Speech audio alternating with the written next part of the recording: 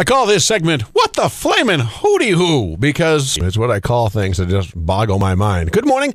It is the Y105 early morning show. I'm James Rabe. 38 now, going to hit 55 later today. Clouds, chance of rain, and uh, that happening mostly after 3 o'clock. We'll have a full forecast from the Weather Eye Weather Center in just about three minutes. But first, on Friday, Chris Wallace from Fox News and conservative radio host Mike Gallagher made some comments about Kelly Clarkson's uh, about her about her weight.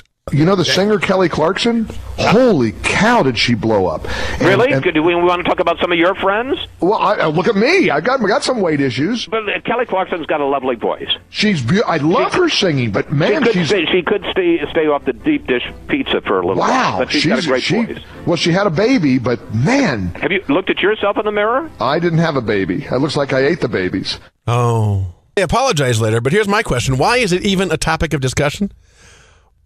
I don't want people talking about my weight behind my back, around my back, or right even in front of me, unless it's someone that I'm paying to talk about my weight, you know? What does their weight have to do with anything? Why would they think, ah, why, does anyone think talking about someone else's body is okay? I'm not expecting you not to notice, you know, how people look. I do kind of expect that at one point we'll get past the idea that we got to be commenting like this. I know, I know. Well, what if they said she looked great?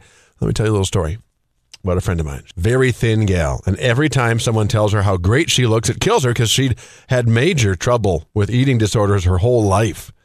It used to be nothing for her to spend two hours on the treadmill two or three times a day to stay thin. She's mostly past that now.